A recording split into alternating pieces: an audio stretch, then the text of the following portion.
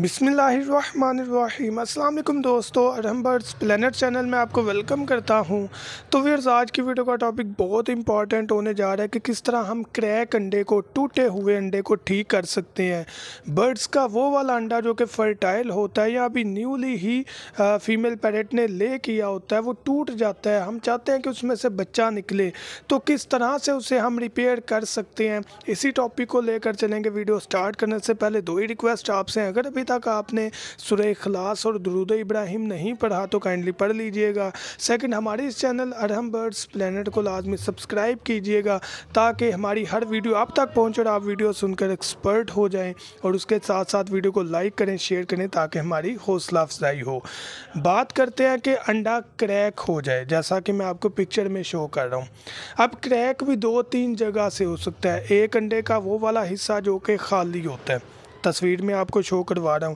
ایک یہ والا حصہ جو کہ خالی ہوتا ہے، دوسرا وہ والا حصہ جس میں جلی ہوتی ہے، جس میں زردی ہوتی ہے اور چپکی ہوتی ہے انڈے کے چھلکے کے ساتھ۔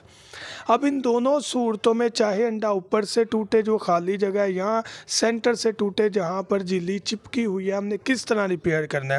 دو ٹپس آپ کو یہاں پر بتاؤں گا۔ سب سے پہلا ٹپ یہ ہے کہ عموماً یہ کہا جاتا ہے کہ جب بھی انڈا کریک ہو تو اسے ٹیپ لگا دے لیکن میں اس حق میں اس لیے نہیں جو ٹیپ ریکمینڈ کی جاتی ہے، وہ شیشے کی ٹیپ ہوتی ہے جس میں سے ہوا کا گزر نہیں ہوتا۔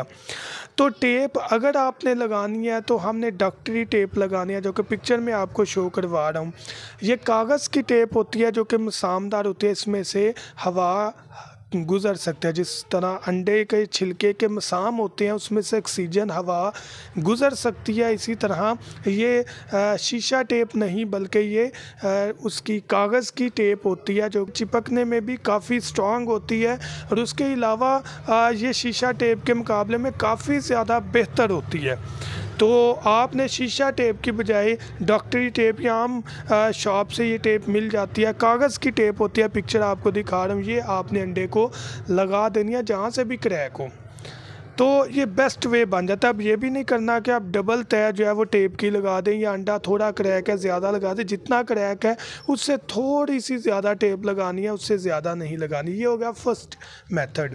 دوسرا میتھڈ جو ہے وہ ہم یوز کرتے ہیں موم بتی جیسا کہ پکچر میں دکھا رہا ہوں کہ موم بتی کو جب آگ لگا کر اسے الٹا کیا جاتا ہے تو اس میں سے ڈراپ نکلتے ہیں۔ ان ڈراپ کی جو موم ہوتی ہے، اس کو ڈائریکٹ انڈے اوپر نہیں پھینکنا۔ اس کو کسی چمچ کے اوپر الٹی سائڈ کر کے یا کسی سٹک کے اوپر یا کسی اور چیز کے اوپر آپ پھینک کر پھر اس چیز کو آپ انڈے کے اس حصے پر رگڑ دیں جہاں پر وہ انڈا کریک ہوا ہے۔ اس سے کیا ہوگا کہ کریک ہوئی جگہ موم سے بھر جائے گی اور وہ فل اپ ہو جائے گا۔ اب کریک انڈا کس صورت میں ہو سکتا ہے؟ بعض اوقات کیا ہوتا ہے کہ فیمیل پیریٹ جب مٹکی سے باہر آتی ہے، اس کا پنجہ لگ جاتا ہے یا ہماری کوئی نیگلیجنسی ہو سکتی ہے، انڈا چیک کرتے ہوئے کریک ہلکا سا ہو جاتا ہے۔ اب یہ ذہن میں آپ نے بات رکھنی ہے، ایسا نہ ہو کہ انڈا اس لیے کریک ہوا ہو کہ بچے نے باہر نکلنا ہے۔ مطلب کہ اکیس دن پورے ہو رہے ہیں تو ہم اس کو ٹیپ لگا دیں۔ ایسا نہیں کرنا، یہ میں انیشیل ڈیز کی بات کروں شروع کے دن۔ اگر آپ کو لگتا ہے کہ انڈے کو دیے ہوئے فیمیل پیریٹ کو بیس اکیس دن ہو گئے ہیں پھر کریک ہوا ہے اس کو ٹیپ یا اس کو ہم نے اس طرح کی چیزیں نہیں کرنی جو کہ میں آپ کو بتا رہا ہوں۔ تو آپ نے اس چیز کو ذہن میں رکھنا ہے کہ شروع کے دنوں میں اگر کریک ہو، جب زردی بنی ہو، چک بن رہا ہو، تب ہم نے اس کو ریپیئر کرنا ہے۔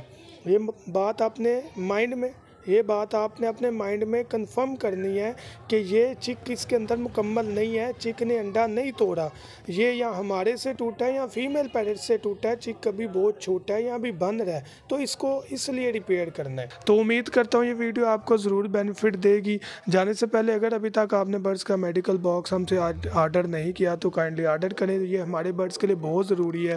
اس میں vitamins calcium antibiotic motion بخار بریڈنگ پاؤڈر جیسی ساری چیزیں باکس باکس میں موجود ہے اور ابھی ہم بہت مناسب قیمت میں بلکہ ڈسکاؤنٹ ریٹ میں رمضان آفر میں ڈلیوری کر رہے ہیں۔ ڈلیوری بھی فری ہے بریڈنگ پاؤڈر بھی فری ہے اور ریٹس بھی کم ہیں۔ اس کے علاوہ دانہ صاف کرنے والی مشین اور سٹک لگا مٹکی کے آگے سٹک لگانے والی جو پروڈکٹ ہے وہ بھی آپ کو ہمارے سے مل جائے گی۔ آرڈر کریں زیرو تین سو سنتالیس چار سو بیالیس، ایک سو گیارہ، سات پر۔ تھینک یو سو مچ دو میں یاد رکھیے گا۔ اللہ حافظ۔